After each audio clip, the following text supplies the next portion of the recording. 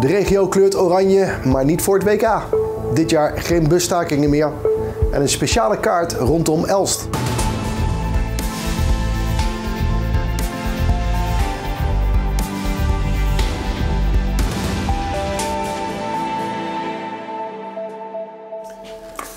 Woensdagavond kleurt het gemeentehuis van Beuningen oranje. Niet vanwege het WK voetbal, maar om aandacht te vragen voor geweld tegen vrouwen. Het initiatief komt van Orange the World, die zich wereldwijd hiervoor inzet. Ja, dat is eh, de campagne Orange the World. Dat gaat over bewustwording tegen geweld van vrouwen en meisjes. Over de hele wereld, maar natuurlijk ook in Beuningen. Want ook in Beuningen zijn nog steeds slachtoffers van huiselijk geweld bijvoorbeeld. Hè, of een achtergestelde positie. En zowel het college als raad vinden dat belangrijk eh, om daar aandacht aan te geven. Een van die manieren is door de vlag Stop geweld tegen vrouwen te hijsen. Dat deed de burgemeester woensdagochtend ook, samen met een groep vrouwen die Orange the World steunt. Daarnaast kleurt het gemeentehuis vanavond oranje. Oranje is gekozen omdat dat de kleur is van de opkomende zon. En uh, de opkomende zon is vaak inderdaad oranje. En dat is uh, de kleur van de dageraad. Dat, is, uh, ja, dat geeft weer hoop. Dus van nou, iedere dag komt de zon weer op, is ze weer hoop op een nieuwe dag en op een betere toekomst. Op sociale media deelt Renske regelmatig statements voor een veiligere wereld voor vrouwen. Daar krijgt ze veel reacties op, onder meer van vrouwen die al het een en ander hebben meegemaakt. Uh, ja, dat zijn de meest schrijnende verhalen van uh, uh, of echt geweld wat ze hebben ervaren, of gewoon inderdaad seksuele getinte opmerkingen of belaagd worden door mannen. Ja, dat is heel breed. Maar andersom kan natuurlijk ook. Want die vraag krijg ik ook wel vaker van ja, dat zijn toch ook mannen en jongens die uh, geweld ervaren. En dat klopt ook zo. Maar statistisch gezien zijn vrouwen nog steeds een grotere groep die uh, ja, geweld ervaren. Je ziet het ook overal. Hè? Als er inderdaad uh, maar ergens een tekort is, een klimaatcrisis. Uh, andere landen zijn vrouwen daar het eerste weer slachtoffer van. Als er geweld is of oorlog is, dan lijden daar de vrouwen en de kinderen ook weer als eerste onder. Want die worden dan weer verkracht of, ja, of nog erger, zeg maar. Ben of ken je iemand die te maken heeft gehad met seksueel geweld? Dan is het advies om dit vooral te melden en het bespreekbaar te maken. En op Orange de Wild staat ook uh, zijn website. Daar staan ook inderdaad allemaal informatie over wat kun je doen als ik iets signaleer. Maar ook als je slachtoffer bent, dan kun je daar ook op kijken hoe dat je het beste hulp kan gaan vragen. Dus ik hoop dat wij op een gegeven moment deze vlag niet meer hoeven te, uh, te hijsen. Omdat er gewoon geen geweld meer is tegen vrouwen en meisjes. Ja, de komende weken zullen ook andere gebouwen in de regio oranje kleuren. En de campagne van Orange the Wild eindigt op 10 december. En dan, de stichting Matches is een actie gestart voor mensen met leukemie. Ze delen namelijk sokken uit aan de patiënten. De stichting zet zich in voor mensen met deze ziekte en hoopt dat deze actie de patiënten, die vaak een aantal weken in isolatie moeten, toch een warm gevoel te geven.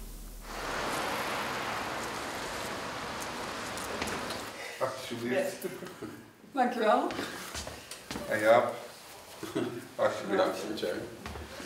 Uh, wij zetten ons in om zoveel mogelijk stamceldonoren te registreren in Nederland.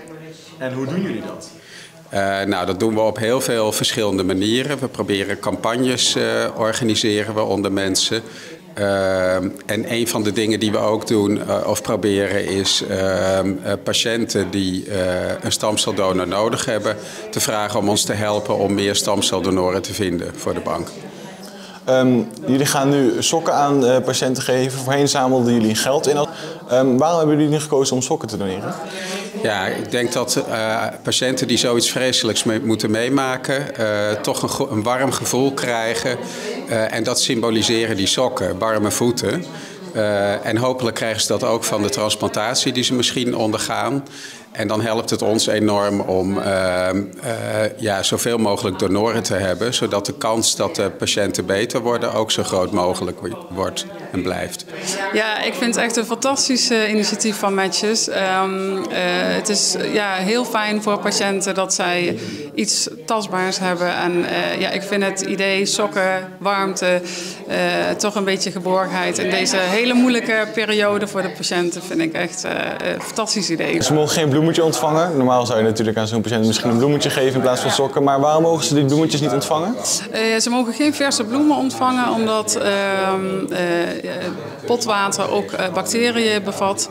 Uh, ja, en patiënten zijn erg uh, vatbaar voor infecties door hun verminderde weerstand. door de chemotherapie die wij ze geven en de radiotherapie. Dus dat maakt dat wij geen verse bloemen en planten op de afdeling willen.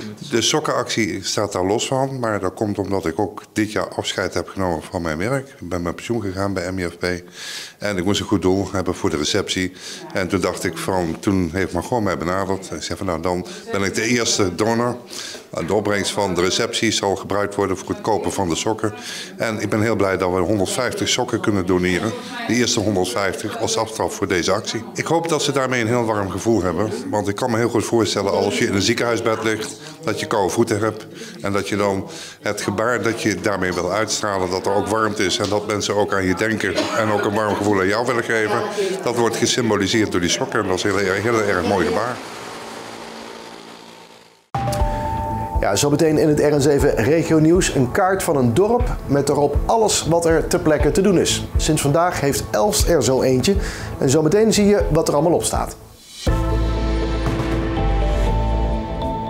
De boot is lang afgehouden, maar het Nijmees College voelt zich nu alsnog genoodzaakt om de mogelijkheid tot preventief fouilleren op te nemen in de algemene plaatselijke verordening. Bijna alle Nederlandse gemeenten, inclusief de buurgemeente van Nijmegen, hebben deze mogelijkheid al in de APV opgenomen. Toenemend wapenbezit vormt de aanleiding tot deze stap. De plannen voor het voormalig VND-pand in het centrum van Nijmegen zijn klaar. In het pand op de hoek van de Grote Markt met de Broerstraat komen winkels, werkruimten en 180 stadswoningen en op het dak zelfs een park. Het voorlopig ontwerp is klaar en het project heeft de naam gekregen Phoenix. Ontwikkelaar MWPO hoopt begin 2024 met de bouw te starten. Ja, een aangekondigde staking in het openbaar vervoer, die op maandag 12 december zou beginnen, is voorlopig opgeschort. Dat betekent dat reizigers niet bang hoeven te zijn voor een busstaking tijdens de komende feestdagen. Volgens een woordvoerder van de FNV gaan de betrokkenen vakbonden en de werkgevers van de vervoersbedrijven op 9 december opnieuw met elkaar overleggen. Ze gaan ervan uit dat de werkgevers dan met een serieus voorstel zullen komen. Een plattegrond van een dorp waarop alles staat wat daar te beleven is. Dat is een belevingskaart. Sinds vandaag heeft ook Elst zo'n kaart met erop onder meer de Romeinen, Park de Lingenzegen en de Grote Kerk. De kaart werd officieel onthuld door wethouder Horsthuis en is binnenkort tijdelijk gratis op te halen. In dit geval hebben we anderhalf jaar lang um, samen met alle bewoners van Elst, kinderen, ouderen, mensen van geschiedenis, mensen van de natuur, hebben we alle verhalen verzameld. Ze hebben dat aan mij verteld en ik zet het op de kaart. En daardoor krijg je eigenlijk de beleving zoals gezien door bewoners. Nou, ik zag de belevingskaart in uh, het Spijkerkwartier van de ontwerpster Marieke van Doorn. En toen dacht ik, hoe gaaf is dat als wij in Elst ook zo'n kaart krijgen? En uh, zo is het balletje gaan rollen. Ook kinderen hebben een aandeel gehad in het maken van de kaart. Door tekeningen te maken van dingen die zij belangrijk vinden in Elst. Wij hebben de kinderen tekenles gegeven en uh, daar hebben we dus de vraag gesteld: wat is er te beleven in Elst? Dus de kinderen hebben we honderd tekeningen gemaakt en wij hebben gekeken wat hebben ze allemaal getekend, um, wat is er populair, wat zijn tips voor andere kinderen. En zo wordt de belevingskaart eigenlijk een soort wegwijzer door Elst. Nou, de rode draad in de eh, belevingskaart is verbinding. Dus het is belangrijk dat mensen gewoon samen weer op ontdekkingstocht gaan in hun hun eigen dorp.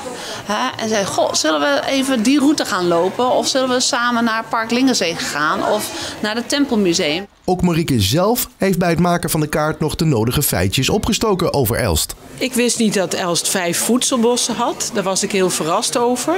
Ik heb ze alle vijf bezocht en geïnterviewd. Ze waren allemaal heel verschillend. Ontzettend leuk om te ontdekken. Um, er waren hier vroeger drie kastelen die zijn verdwenen. Ook een heel mysterieus verhaal. Eh, en nog veel meer leuke dingen eigenlijk. Wethouder Dimitri Horsthuis mocht de kaart onthullen onder het oog van een groep basisschoolleerlingen. 4, 3, 2, 1.